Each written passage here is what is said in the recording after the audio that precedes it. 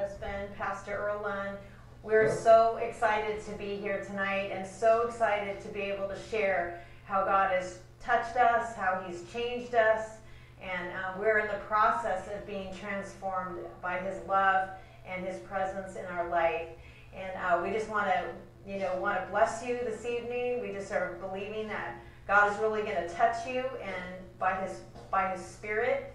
Uh, this evening we have a really great topic, and we really feel as if we'll encourage people that are out there. We really felt led to be able to share about the topic of comfort. You know, in Matthew we read, Come to me, and that's Matthew 11 28. Come to me, all you who are weary and burdened, and I will give you rest. You know, our God that we have com- completely committed our life to is definitely an amazing, the God of comfort. And we have been comforted, and we pray that tonight that you will be comforted by His Spirit working in and through us this evening and touching you exactly where you're at as you watch this program. So, do you want to go ahead and open us up in prayer before we start? Absolutely. Absolutely. So, Heavenly Father, we just thank you and praise you. Jesus, we just thank you and praise you. And Holy Spirit, we just thank you and praise you. And just touch the audience tonight. Just give them revelation. Give them truth. I pray that they have an encounter with you, not just during the show, but but tonight in dreams and visions and just in the next few days as you bring things to their mind and just show them show them greater revelation of what we're talking about tonight and the areas that they need to just be comforted by you. Amen. And what those areas are, they need to surrender to you and give to you to be transformed into the image of Christ. In Jesus' name, amen. Amen. So this evening we're going to be talking about obviously some scriptures that we're going to be sharing. We have personal testimony that we want to share with uh, with you, and like I said, we just pray that you're really truly comforted tonight by the power of His Holy Spirit. Um, I wanted to start off talking about that his name, El Roi, the God who sees. Not only does he see you, but he cares. And I know that personally because I experienced that as I, you know, have been changed when I came into a relationship with Christ. That's exactly how this journey started for me personally as a teenager, as I was a rebellious teenager um, using drugs, and as a runaway, I was a mess and I was so lost. And I had a vision sitting in a in a church, and I saw Jesus' eye come just as a vision in my in this diamond that I was wearing on my on my hand. And when I say that, I saw Jesus' eye look at me, and in his gaze, in his beautiful look, it was unconditional. It was pure love that I saw in his eye. And because of that, I he didn't ask me to stop using drugs. He didn't ask me to make any changes. I felt so loved and so comforted that I just repented and went the other direction and never used drugs again. And here I am, you know, years later, I am so thankful. I have never had any urge or um, sensation to use drugs in any way. So he is truly the God who sees. And I pray that you really, truly get that revelation you know, as you hear this testimony, because Jesus is the spirit of prophecy, which means he will do it again. So I just pray that you know that he sees you right where you are and that he is so comforting in his love and his presence. So in John 1 1, we read that Jesus is the Word. And this is how he speaks to us. This is how he how he fills us by promises that are just full of comfort as we're talking about this tonight in Psalms 19:7 we read that the law of the Lord is perfect, refreshing the soul. The statutes of the Lord are trustworthy, making wise the simple. The word is so important that we understand truth. You know, in John 8:32 it says, "Then you will know the truth, and the truth will set you free." You know, many times I think in the past I felt like when I would, you know, I, I went by I lived by my feelings and in the word it says, then you will know the truth, and the truth will set you free. It wasn't my feelings, and I feel like I know the truth, or I think I might know the truth. No, in the word you will know the truth, and the truth will set you free. do you want to um, go ahead and share about um, and read John 117?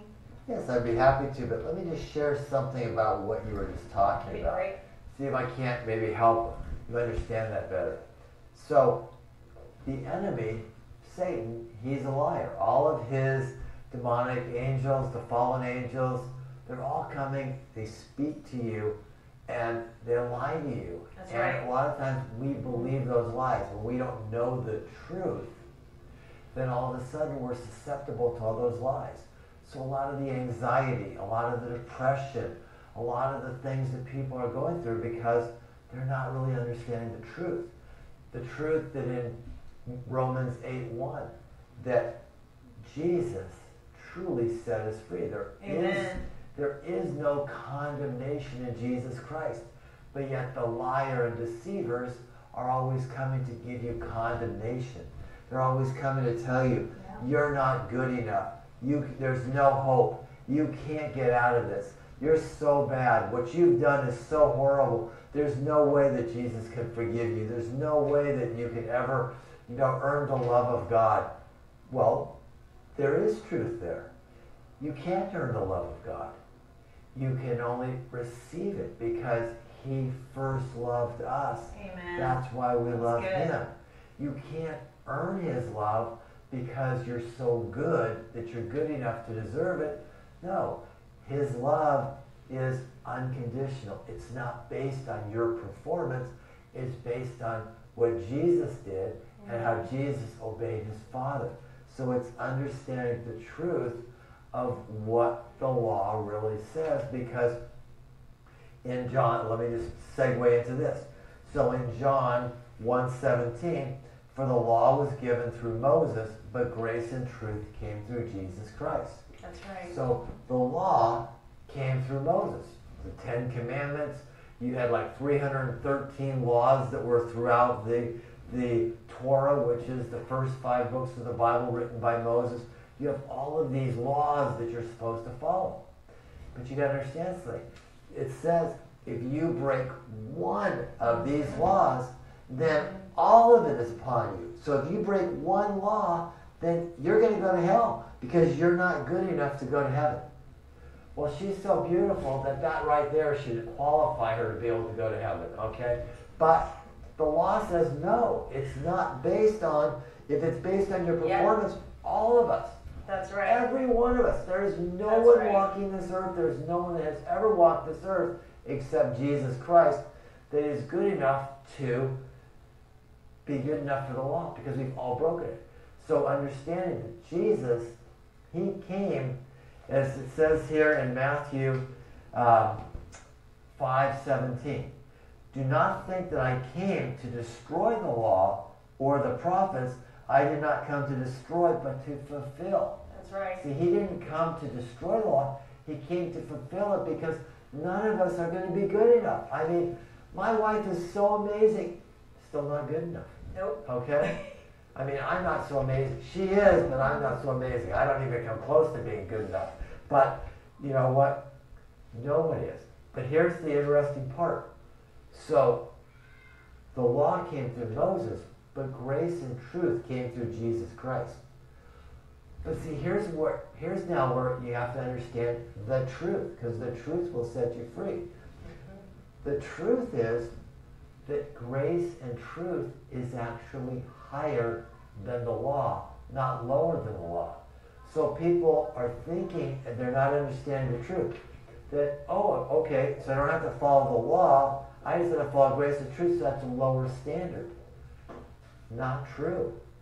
The grace and truth is now understanding that you've been bought with the price of his blood. Amen. The law says that that you now are uh, you're condemned, right?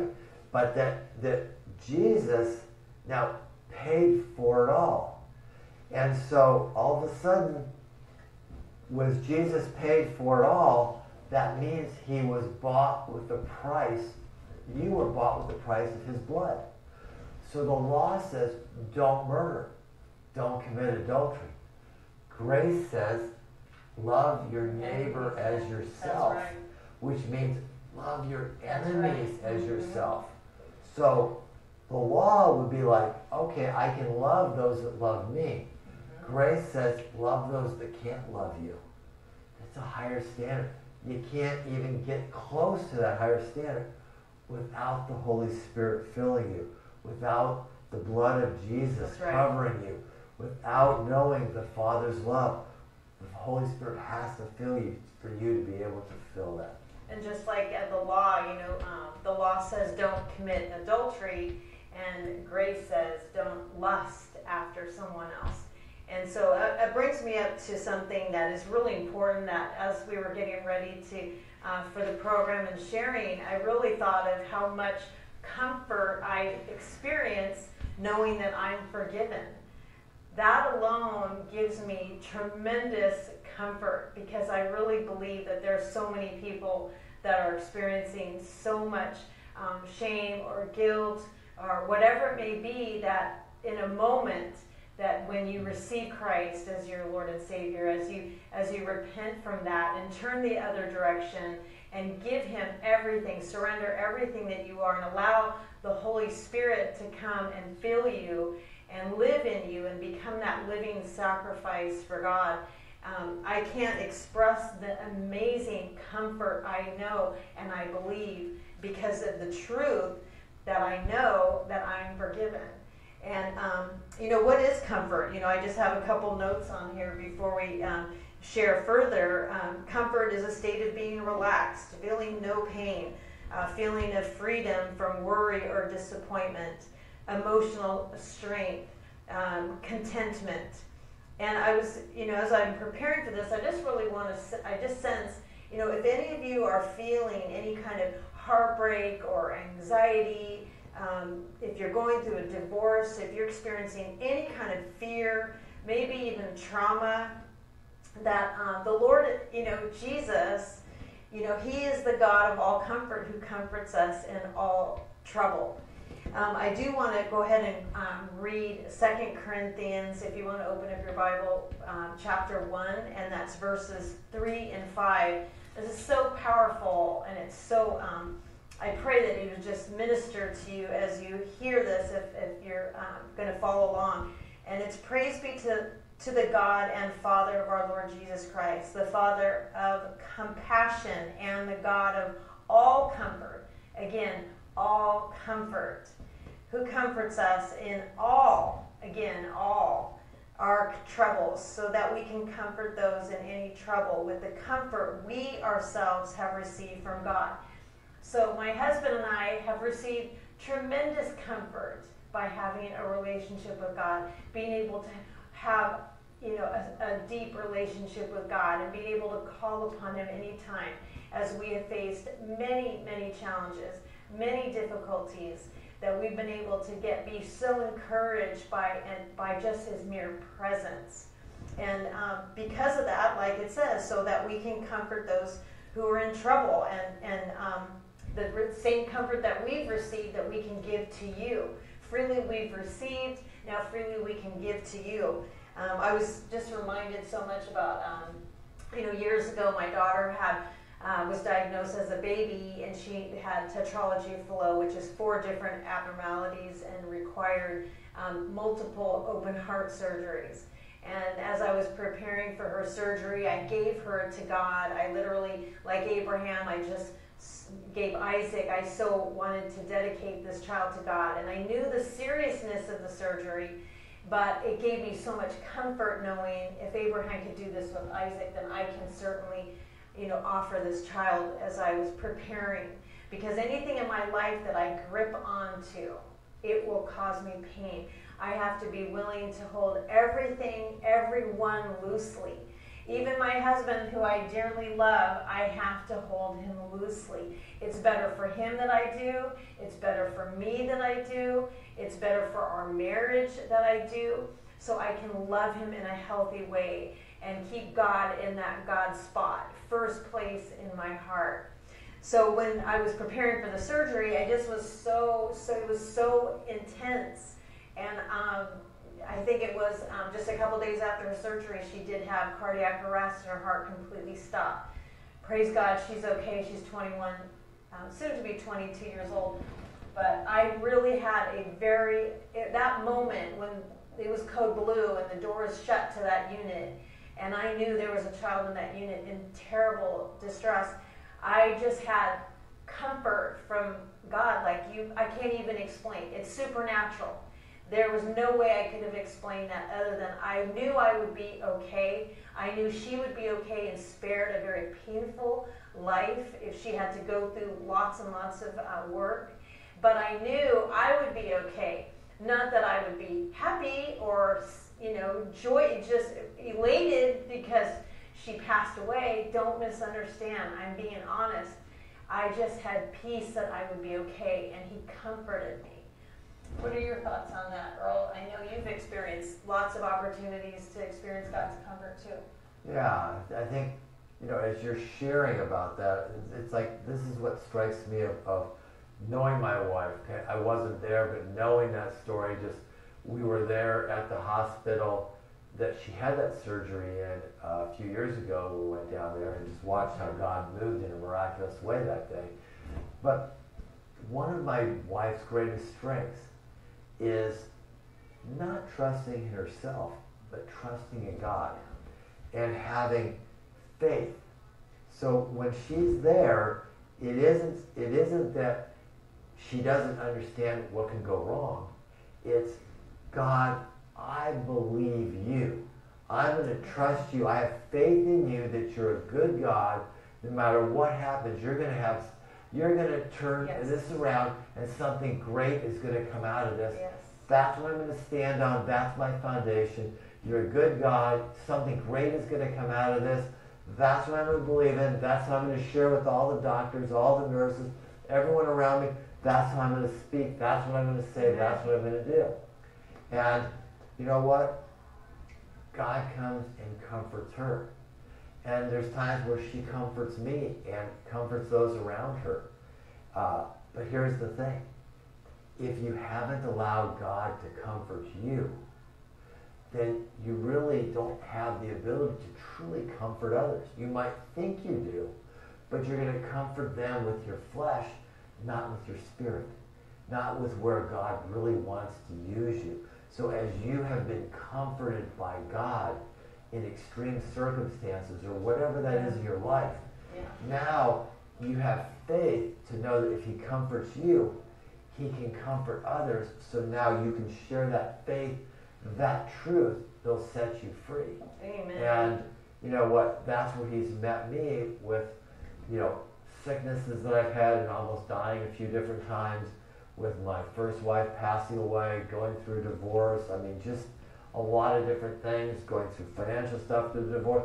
Where as you go through that, you always have a choice. The choice is, do I trust in what I see and my circumstances, and that's what I'm going to keep my eyes on, or am I going to trust and have faith in God who is beyond my circumstances, yeah. who is outside of time, who can see something greater. I see something going wrong.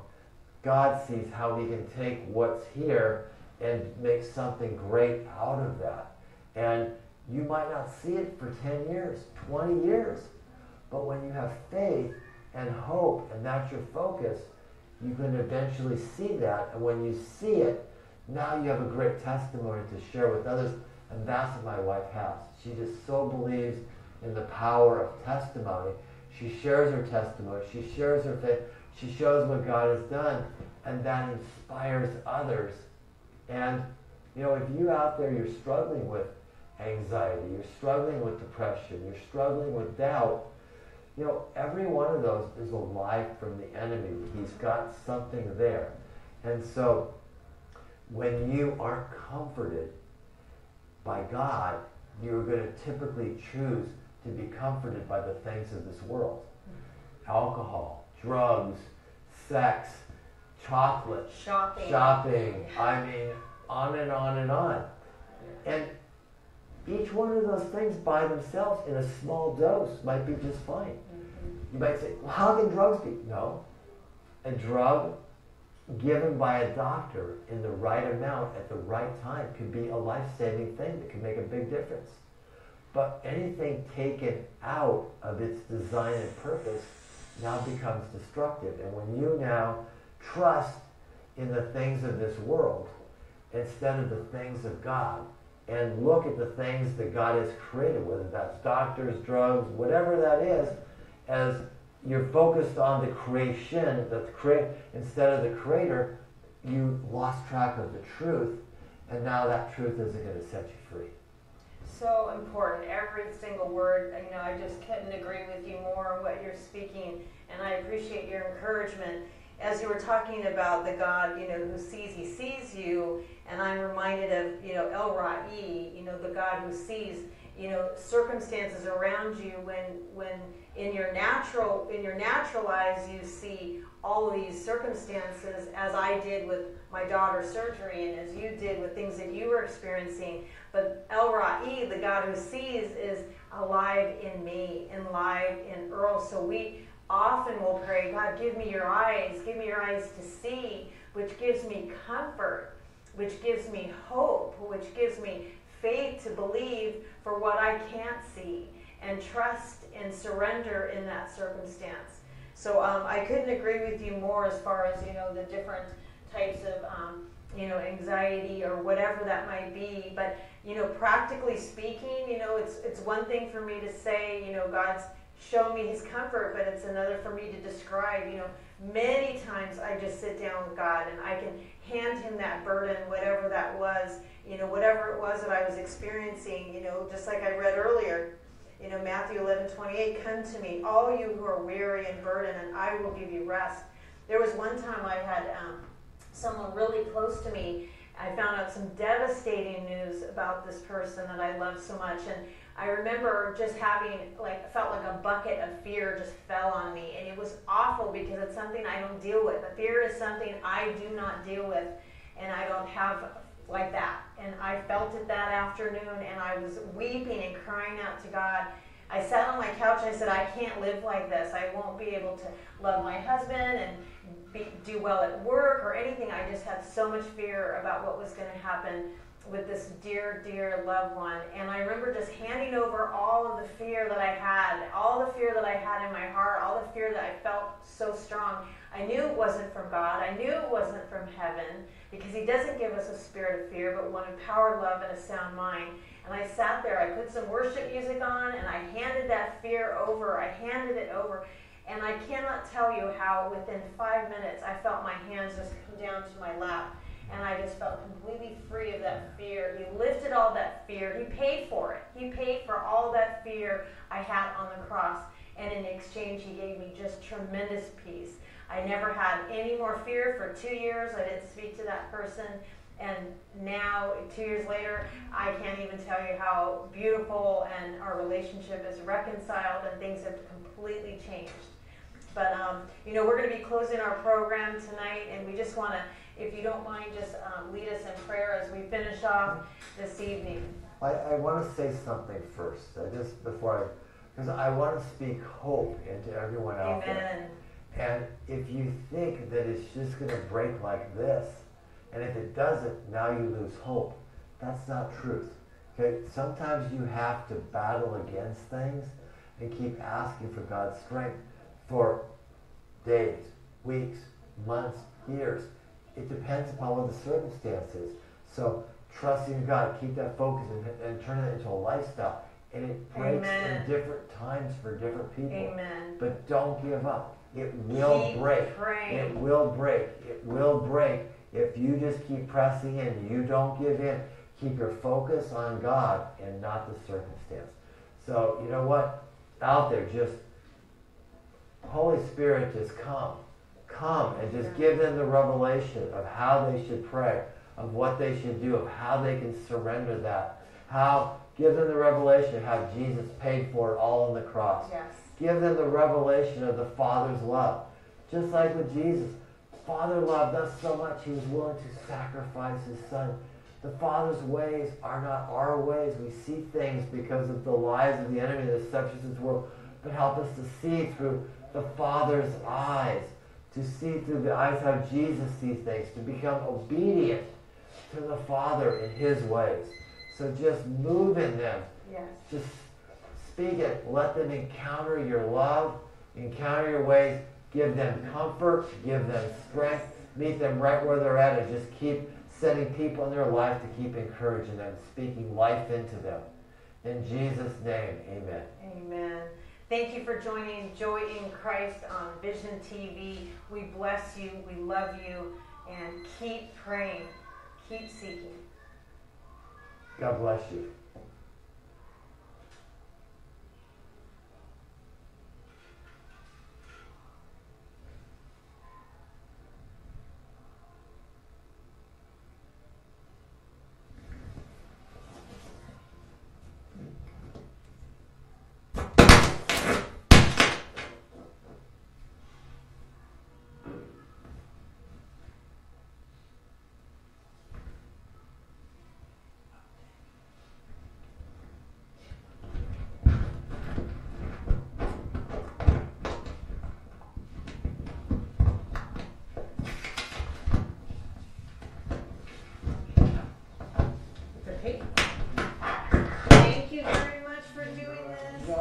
still showing the old Brookhurst address.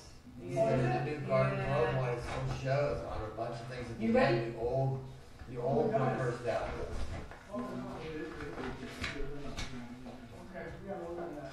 Yeah. on the, Yeah. on the address with the line on the bottom too, Yeah. yeah. I think for that revival night,